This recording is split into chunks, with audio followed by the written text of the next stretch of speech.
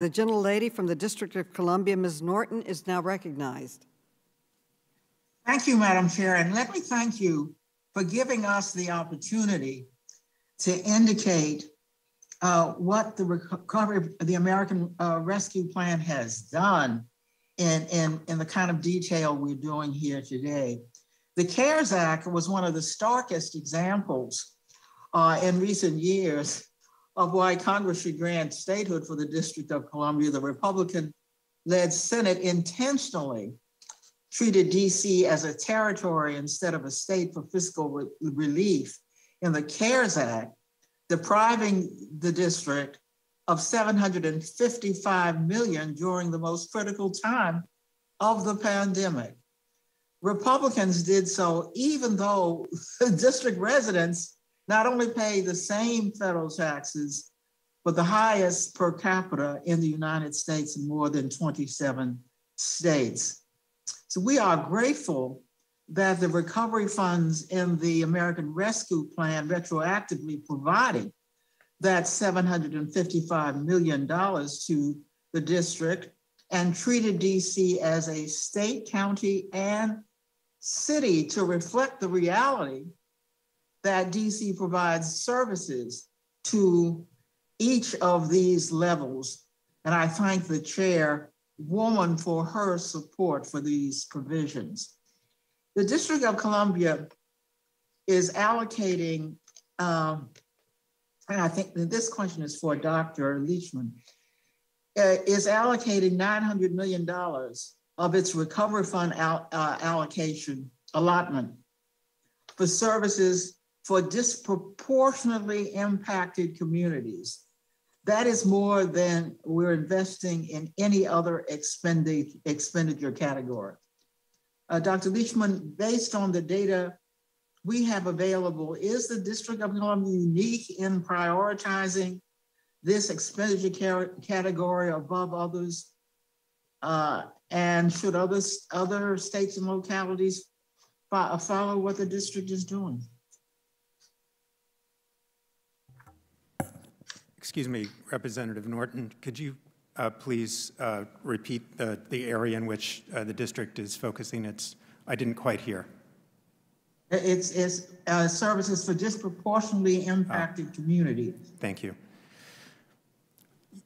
You know, this is, uh, this is a very important response. Uh, the impact of the pandemic has been very unequal by race, by gender, and by community. And so directing resources in ways that, uh, that help those communities particularly is, is a really central part of what the response needs to be. Um, we, we are seeing communities and states around the country uh, uh, focusing attention in that way, and the Treasury Department's guidance really encourages it. Um, you know, I could give you a, a couple of good examples. In, in, uh, in California, for instance, uh, they're revamping their youth mental health system using uh, fiscal recovery funds in ways that will have, uh, will have uh, equitable impacts, will improve particularly the, mental health services that are received uh, by youth of color and, and, and low-income and low-income youth. in, in Maryland, the fiscal recovery funds are going to, to invest in, a, a, an, educa in education uh, investments that will uh, particularly benefit uh, communities that have historically been disinvested in the education system. So I really appreciate the district focusing its, its, its funds in that way. I think it's right in line with what Treasury is encouraging and in line with what will help build a strong recovery. Governor Pritzker, uh, you've been a leader in investing recovery funds to support disadvantaged communities, which is my focus in these questions. Can you review some of the highlights of these investments? Uh, and do you believe they have created uh, a more resilient future in your state? Well, thank you for the question. Uh, let me begin by saying that, as you know, coronavirus had its most devastating effects on the most disadvantaged communities, communities that have been uh, disinvested from for for many many years.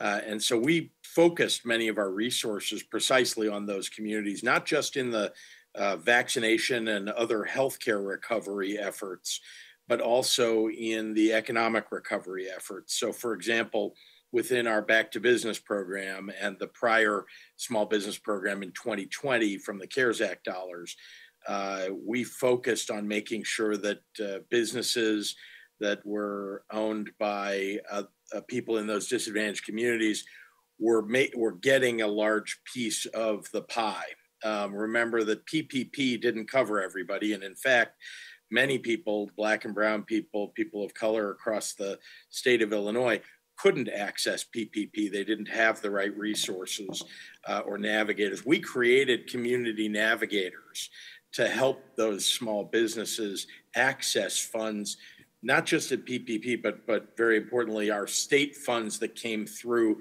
the dollars that were provided by the federal government. So those are just examples of things that we were doing and, and continue to do to this day uh, because the recovery hasn't uh, completed. I mean, we, we have much more work to do to lift up communities that have been disadvantaged and affected by COVID 19 more than others.